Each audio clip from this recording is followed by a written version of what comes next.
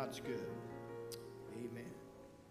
There are major elements to serving God. Major elements to serving God. And I want to mention a few of them here before I give you my title. Amen. Major elements to serving God. One is faithfulness. Everybody say faithfulness.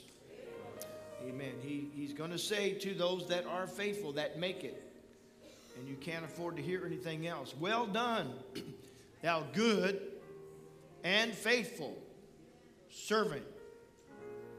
He didn't say pastor, he didn't say teacher, he didn't say evangelist, he didn't say good looking dude, he didn't say babe. He said, Well done, thou good and faithful servant. Amen. So that has nothing to do with all the other elements. Faithfulness is a very important element in the kingdom of God. We got to be faithful.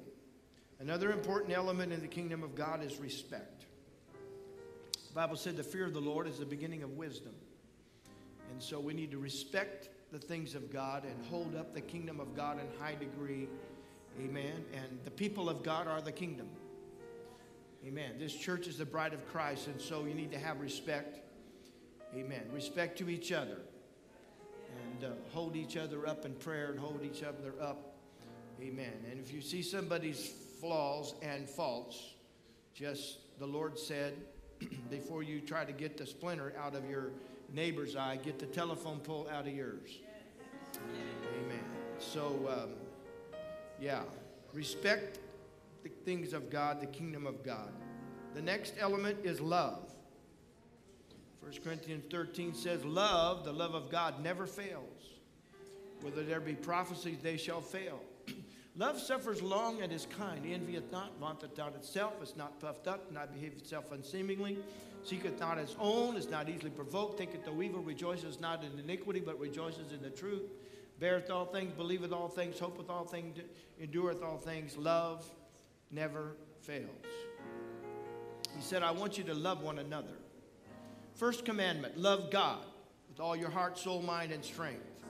And then he said, I want you to love your neighbor as yourself. So we need to love God. And we need to love each other. We need to love others. And we need to love ourselves. Some people don't love themselves enough to keep themselves out of trouble. Some people don't love themselves enough to take care of their own body and their own health. And, and they don't love themselves enough to hate sin. They, they got themselves in trouble and they're headed to an eternity without God. So you need to love yourself. You really can't love other people if you don't love yourself. And so love God, love others. These are elements, important elements of serving God. Another important element is be not weary in well doing, for in due season you shall reap if you faint not. Everybody say, faint not. Don't faint. If you have a reward to collect, then hang in there because if you faint not, be not weary in well doing, for in due season you shall reap if you faint not. Amen. The devil would like to knock you out. The world says we got lots of stuff for you. But don't faint. Amen. Don't faint. These are important elements. There's a bunch more, but the one I want to talk about tonight is the spirit of gratefulness. We need to be grateful or thankful. This is not just Thanksgiving. This is a very important part, I'm going to give you an illustration in a minute about this being the trigger of all the other elements. This is the important one. If you have this one, then you can have love. If you have this one, you can be faithful. If you have this one, you won't faint. So, this is one of the most important elements of all of the things about serving God, and that is being grateful being thankful. So now we're going to read our scriptures. 1 Corinthians chapter 9 verse 15. 1 Thessalonians chapter 5 verse 18. 1 Corinthians chapter 9 15 just a couple of brief scriptures to let you hear the word of God on the subject. Amen. 1 Corinthians chapter 9 verse 15.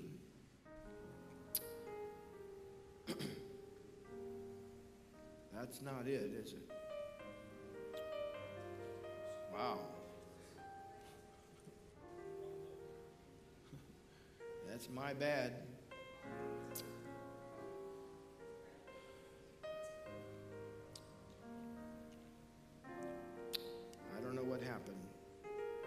Anyway, let's go ahead to go to 1 Thessalonians chapter 5 verse 18.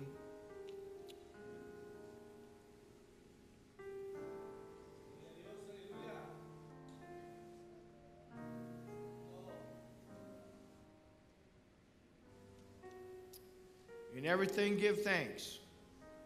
That sound like it? In everything, give thanks.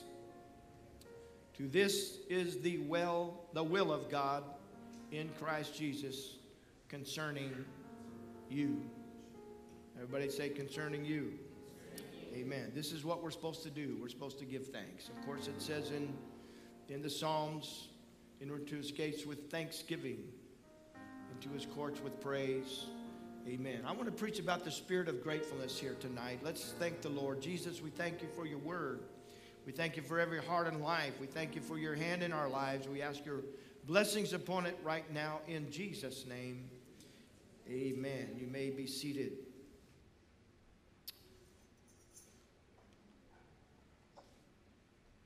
The sons of Korah were the ones that made up the choir back in the Old Testament. And they had a choir. And so, in the choir, of course, you sing praises and you give God glory for what He has done. And the sons of Korah were chosen. The reason they were chosen is because of their attitude. They had a, an amazing attitude of thankfulness and gratefulness just to be there just to be there. That's more pleasing to God than, than perfectly sounding voices or perfectly dressed people, is the attitude of being thankful, just glad to be here. See, Korah rose up against Moses with 250 princes, which were leaders of the land. God forbid that leaders would rise up against authority and, and cause dissension. But Korah rose up with his leaders, and there was 251 of them. And uh, they came to Moses and said, We don't like the way you do business. You kind of have the attitude that you, you know God better than we do, and so we're coming against you. And Moses was the meekest man except for Jesus Christ. So Moses said, Okay, let me go talk to the Lord and let's see what he has to say. And so when he came back, he said, The Lord told me to tell you to go stand right over there on that side of the hill and the mountain. So they all marched over there, and the Lord swallowed them up in fire and brimstone. Korah and his princes.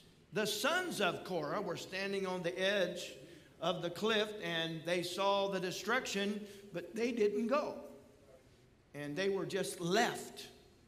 Their clothes smelling like smoke, and they had a first hand seat to see what God had to think about rebellion and coming against his man and him.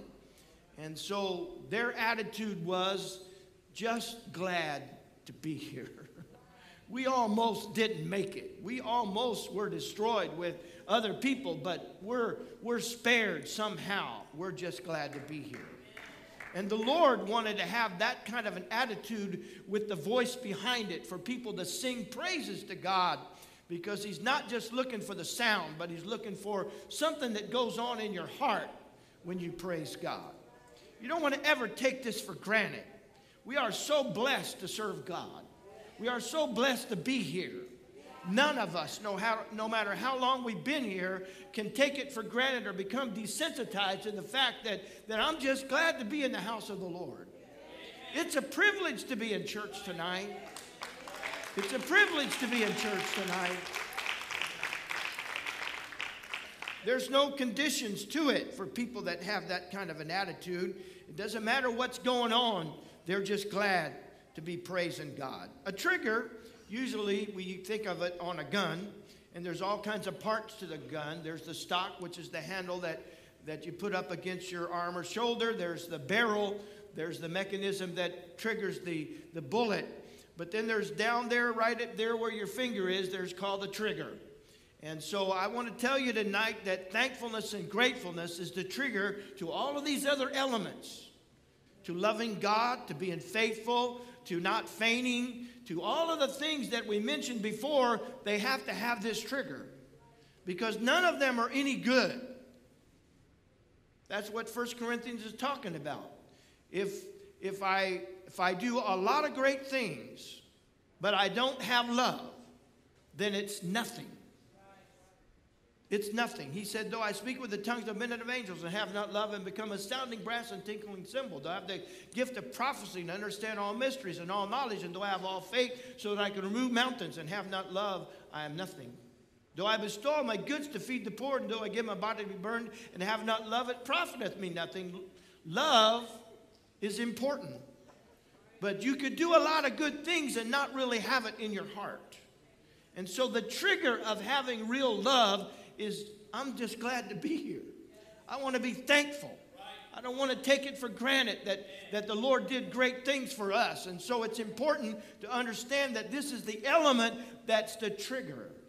This actually triggers the other elements that are important. We got to be faithful.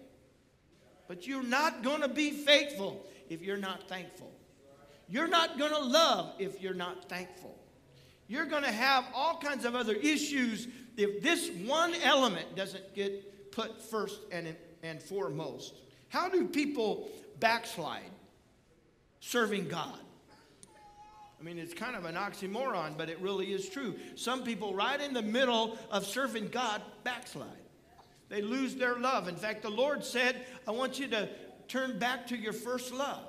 Something happened. You, you let something slip, and so I want you to go back to the, the first works. What's it about? Well, when you first come in church, you're just in love with God.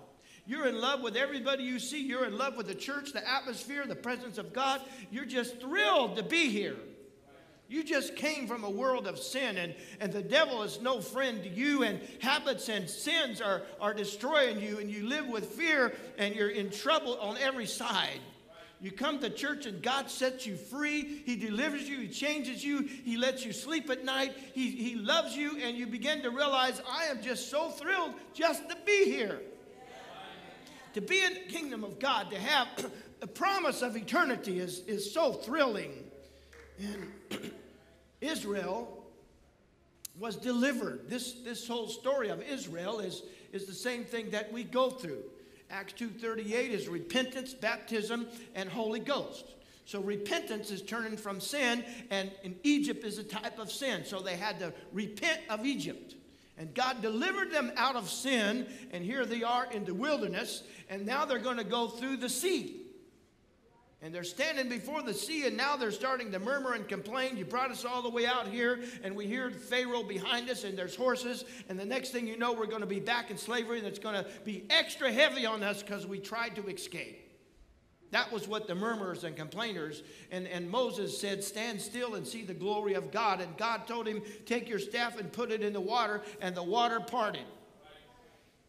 And if you wanted to see that, you could go to over here. They made a replica of it. And the water parted and they walked through on, the Bible says, dry ground. It was a miracle. But God set them free. They went through, they came out of Egypt, they went through the baptism, and then they were going to go to Canaan land, the promised land. But in the wilderness, they sort of kind of took for granted all the great things that God had done and was doing. They got hungry and He gave them manna. Their shoes, they just didn't have any shoe stores around.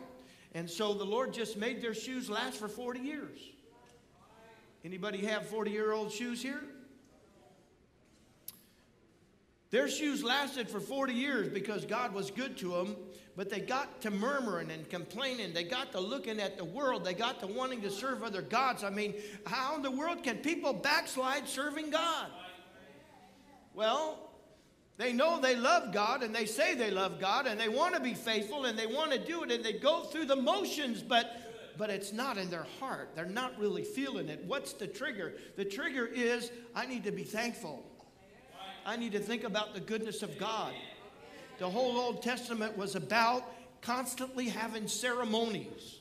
and constantly having feasts and parties. And what was it about? It wasn't just to feed your face, but it was to help you remember what God has done. So every year there's a Passover about how they got delivered from Egypt. Then every year, then 50 days later, is called the Feast of Pentecost. And what is it? It's just going over again. Don't forget, God has delivered us, God has set us free. And so we are so blessed just to be here. That element is very important. And so throughout the whole Old Testament, I mean, when, when David was bringing the ark home, they, uh, Brother Oggs, one of our preachers, figured out how many gallons of blood was, was shed because they, wa- they would walk six, spe- uh, six steps and then six paces. And then they would have, they would stop, they would set up shop, and they would have a sacrifice. And of course, the sacrifice starts with killing the animal, and they got to bleed the blood out of it. And so, gallons of blood, six more paces. They went miles and miles, six paces at a time. And what was this, the point? The point was don't forget that this is the presence of God. Don't forget that your God is the real God. Don't forget what God has done for us. Don't forget what God has done for you. Constantly reminded. Every time they came to the tabernacle, there was an altar. They had to make a sacrifice. We heard about that this morning. Then they went to the laver. They had the holy place and the Holy of Holies. And all of it was a constant reminder of something they didn't even realize yet, but that's a constant reminder ahead of time that, that the Savior of the world's coming someday, and He's going to be the supreme sacrifice. And you need to be reminded that if it wasn't for that, we wouldn't be here. Thank God we were spared. Thank God we are not cast into hell like all the angels that fell. There's no plan of redemption for them. Thank God He went to Calvary so that if you would like to, you could be saved. If you would like to, you could go to heaven. If you would like to, you could have a mansion. If you would like to, you could have eternal life. If you would like to, you could be 35 again or whatever it is. I would like to. We got to remember celebrations and, and feast and the answer is you got to be thankful. You got to think about the contrast. And what's the problem? Well, the problem is is that a lot of things happen in life and get us caught up in trying to accomplish things and trying to do things and trying to go after things. And before you know it, we're, we're, we're forgetting what God has done. Before you know it, it's something this, that, or the other. There's a bunch of things that happen in life, and it takes away our thankfulness. Don't let anything cheat you out of your praise. Because praising God is not just singing, it's not just testifying, but it's, it's, it's the spirit of praise in your heart. The difference in, in the, the motions, the difference in going through the ritual, uh, the, the word we use is religion. Because religion is man's attempt to do it. So we go through the motions. It could happen right here in this church. You could backslide right on the bench. Because when you pray, you're not really touching God, you're going through the motions. Your flesh and your mind is saying, We got to hurry up and get over with because we got other things we got to do. So I'm just trying to go through the motions. You, you can't do that. You got to have it in your heart. It's got to be the spirit of thanksgiving. It can't just be, well, I said thank you, so isn't that good enough? No, it's not just a thank you, it's a lifetime of thankfulness. It's every day you get up and you say, Thank you, God, for this day. Every day you get up, you say, Thank you, God, for Calvary. Every time you have communion, you remember that God's been good to me. And so it's important that we remember some of the things that God has done. I tell people to, to make a log or, or have, a, have some kind of a, a notebook where you write all the good things God has done because God's been so good to us. I mean, in my own life, when I was young, just one year old, I just about lost my hands. And you think of what life would be without your hands. And I've done so many things with my hands. And, and it's just such a pleasure to be able to reach or do or whatever. And it just comes natural. And I need to thank God that I have my hands.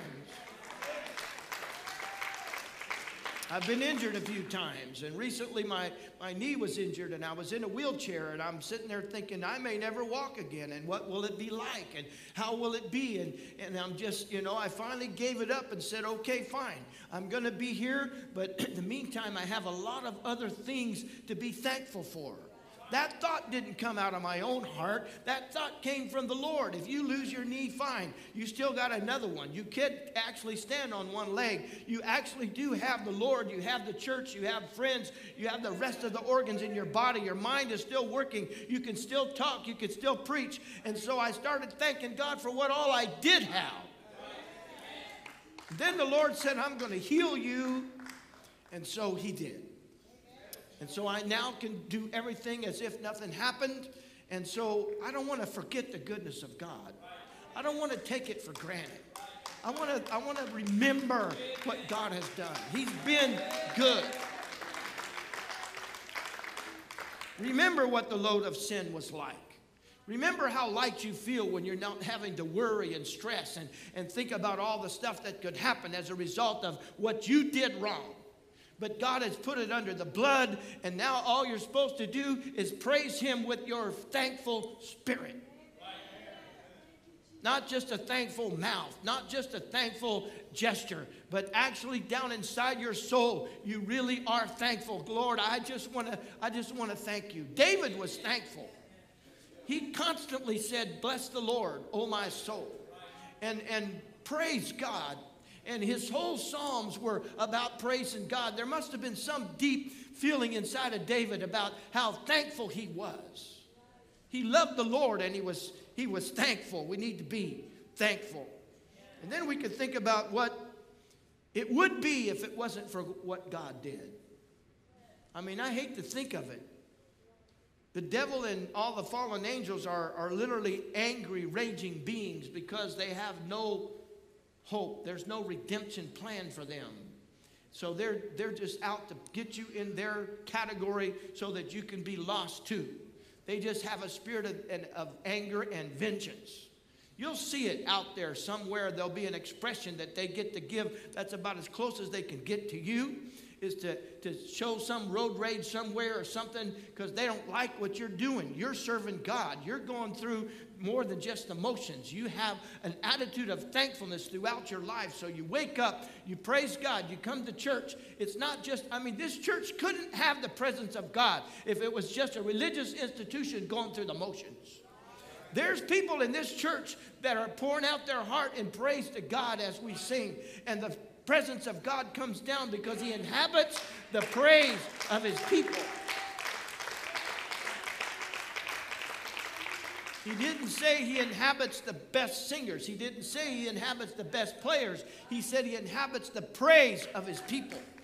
When the, when the sons of Korah begin to sing and praise God, they're not thinking about who's looking at me or how does this sound or will I get a girlfriend or a boyfriend from this? What will happen in my life because of what I'm doing? It's not about them. They're saying we're just glad to be alive because we almost didn't make it.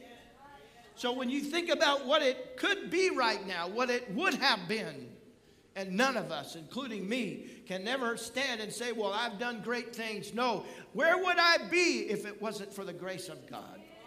Where would I be if it wasn't for the mercy of God? Every day of my life, I have a prayer. And I've got to make this prayer for real because I can't think of anything better to say than the prayer that I have. So I know it by heart. But I can't just go through the motions of it. I need to mean it from my heart when I say it. And I start my prayer every day and thank you, Lord, for your love. And think about it if God didn't love you in his almighty power, ability, if he didn't love you, I mean, he could do you some pretty bad harm. If he didn't want you to live, you couldn't have one more heartbeat. If he didn't want you to live, your brain wouldn't have more, one more brainwave. If he was against you, I mean, you, are done. He doesn't have to chase you around the bush three times to catch you. If he wants you out, you're done right now. But he doesn't. He loves you. He wants, he, he, he says, I'm going to look past your failures. He said, Love covers a multitude of sin. God loves us so much that He went to Calvary to cover all of our sins. We don't deserve to be forgiven, but because His love is toward us, I thank God for His love every day. And I want to think about those things when I say that statement. I want it to come from my heart. Being human, it doesn't always. Because I say it, because I know it. And then I think to myself, I need to go back and visit that and mean what I'm saying because thank you, Lord, for your love. I mean, where would we be if it wasn't for the love of God? We sang a song just earlier because He loves me. I want to serve Him because He loves me. That's kind of selfish, but it is true. God loves us so much. I thank Him for His love. I thank Him for His mercy. He didn't give me what I deserved, He had mercy on me. I thank Him for His kindness. I thank Him for His goodness. I thank Him for His grace. He gives me power to find myself doing the right thing when the devil would like to tempt me to do something else. When the world would have me doing some other, chasing some other thing, the Lord has given me grace to be doing the right thing. I can't take the credit for having served Him or being faithful or done all of these things. It all is wrapped up in I need to be thankful that God has helped me to make it this far. I can't take the credit. If I'm thankful, then I thank Him for the grace that has kept me. Any one of us could be wiped out in a moment through our own carnality and our own failures if we're not careful. And if you fail, don't give up. Get up and thank God for His mercy and His grace. You can't go wrong when you thank God. When that thankfulness is from your heart, it's your spirit of thanksgiving. It's one thing to say, I'm sorry. And so Peter said, Man, I'm spiritual today, and I could do it seven times. I mean, I am really up there. And the Lord said, mm, Not really. Not really. How about, I mean, we're not talking about a lifetime, that would be a lot. But he said, How about seven times 70 in a day? 490 times you're going to forgive. It's a spirit of forgiveness, it's ongoing. It's not something you say, Okay, I've done this and now I'm done with it. And if you do it one more time, I'm done. There is no such thing as ever being done. When it comes to forgiveness, you got to grit your teeth and do it because you need it and so you give it. And God gritted his teeth and he took the cup of sin. The preacher this morning preached about Calvary and how that the Lord didn't want to have to suffer and die. He didn't want to have to take on the, the, the burden of being beaten and, and all that happened. But I think more than all of that, when the, the God of glory took on a body who was pure and holy and never been defiled, had to drink the cup of sin. Of all the things that happened, that cup represented something that God hated. And he drank the cup of sin so that you and I could be saved. He took on our sins to become the sacrifice. He became the sacrifice for our sins. So for him to take the cup of all the vile and filthy things in the world, he took it on. That's what he didn't want to do. He, he didn't say, let the beating pass from me. He didn't say, let the flogging, let the, let the, the crown pass. Let, he, did, he said, let this cup pass. I don't want to drink this cup. This, this, this is things that I've never done. This is things I've never thought. This is things I would never want to do. He is God, He is holy, He is pure, and he, yet He said, Nevertheless, not my will. Because there's, there's a victory in this. When I drink this cup, people's sins are going to be washed away. My blood is actually going to put it to where it, it didn't happen. So, what are we supposed to do? We need to thank God for that when we sing thank God for the blood, it, it's not just the beat. It's not just who's singing it or who's playing it. It needs to come right out of the depth of our soul. Thank God for the blood. Where would I be if it wasn't for the blood of Jesus?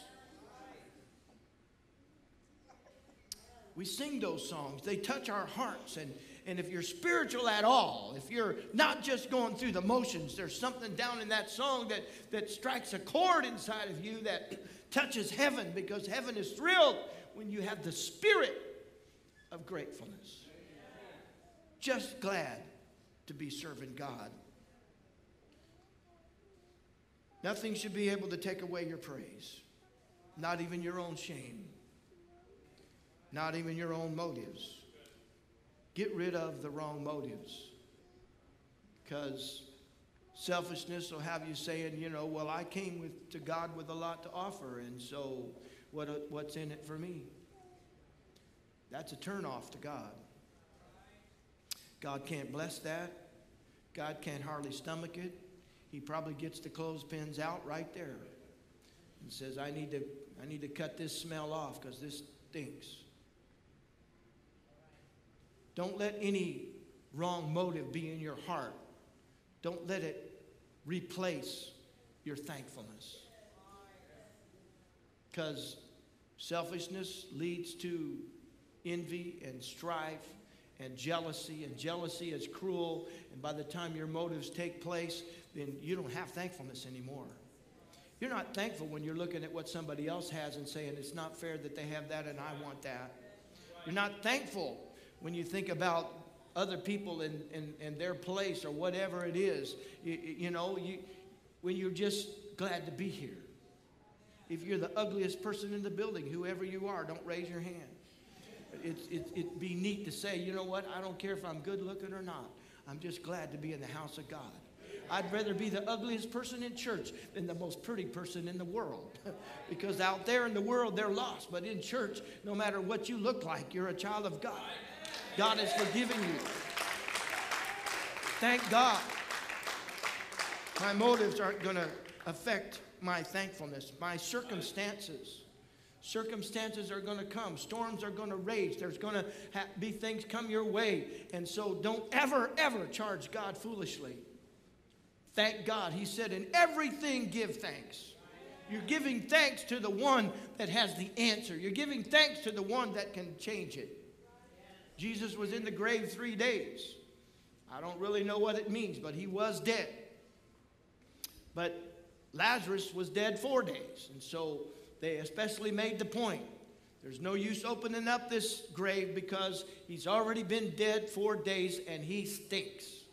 And and, and we don't understand why you're so late. Ever had anybody complain about you being late? And you were supposed to be there to do it, but yet you have the answer.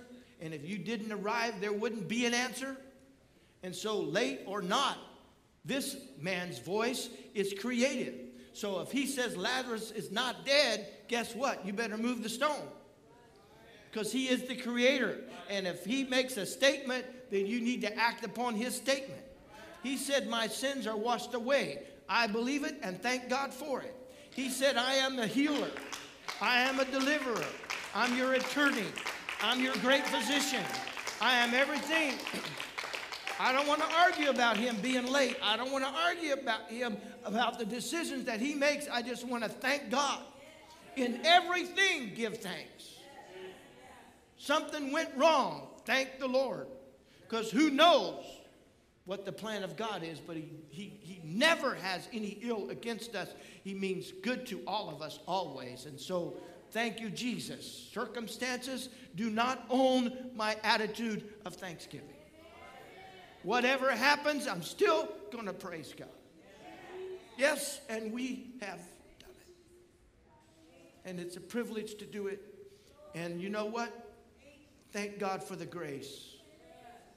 Thank God for the grace. He gives you grace to do that when your circumstances look terrible. Conflicts.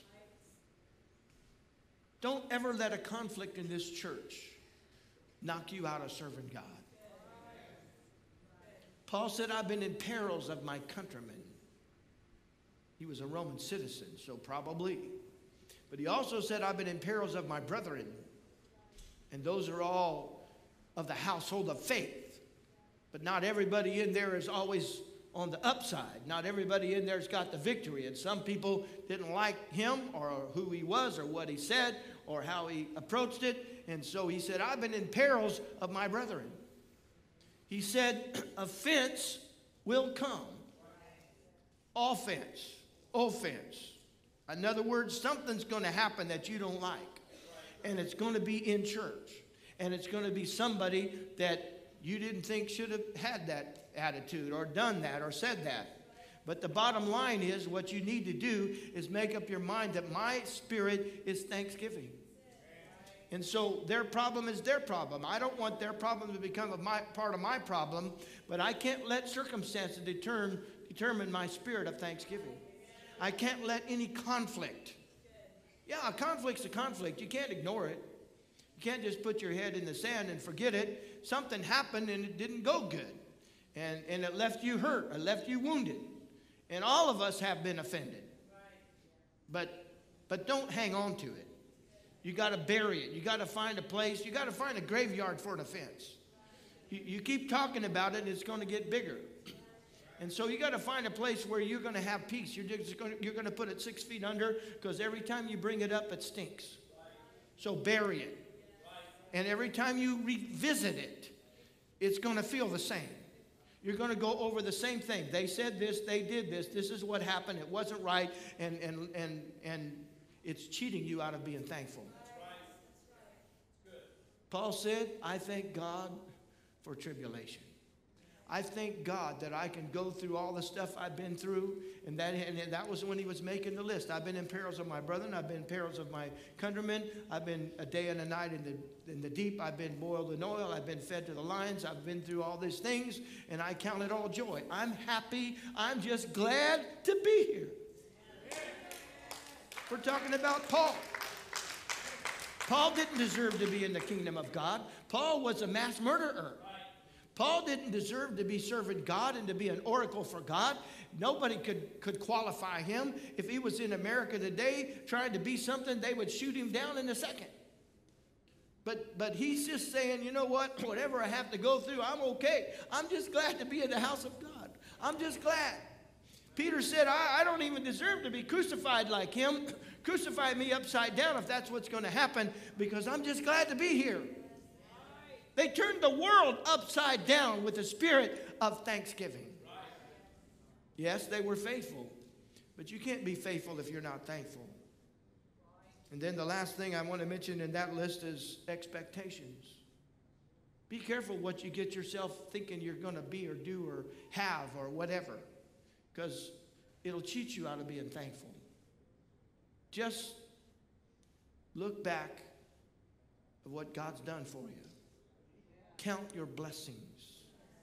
And then look forward of how it would have been if it wasn't for the Lord. And then just thank Him with all your heart. Our song that we sing and our singers can come. It's a beautiful song written by Joy Elms. I'm blessed with so many things. God's been good to me. I have family and friends who share in all that I. But if I lose it all and I'm left with nothing, if I have the Lord, I've lost things in life, but I realize all the time I still have the Lord. My pastor's wife, Sister Urshan, used to sing that song years ago. And I was probably 20 years old when I met her at conference. And I said, Sister Urshan, I've never lost anybody close. But if I ever do, I want you to come to the funeral and I want you to sing that song. Because that song is so touching to my heart. It says, Take everything but my Lord. Take my possessions. Take my dearest love relations. Take the flowers, the sunshine, the rain. Take my ambition. Take my dreams. Take, take it all. But don't take Jesus. Well, he took Sister Urshan before he took Sister Cupoli, so she didn't get to sing that song, but it's still in my heart. I'm thinking a lot of times throughout life and circumstances when you might feel like complaining. I thank God that I still have the Lord. You're not going to lose the Lord. He's faithful. The song says he's been faithful. He has never failed. My mom always says, God's been so good, I can't complain. So now we're going to stand and sing this song together, and I want you to just try to muster up the most powerful praise that you could have from your heart, from the depth of your soul, to be thankful to God for His goodness. Not going through the motions, not some ritual to say we got to get this over with, but heartfelt. I've already felt it in this service. I've already watched you praise God like this. I've watched the presence of God sweep across the audience tonight, and I'm thinking, boy, that's so neat because that's just what I'm preaching about. I'm not trying to raise the dead here of a bunch of people who are backslid and not interested. I, I'm just preaching to you how wonderful it is that we get to praise God. Heaven is touched when we praise God. Heaven is touched when nobody's listening, but you are by yourself and you're praising God. If you don't have the mic, still sing because they're listening up there. Their heart is touched up there. The people with the mic might not really be praising God.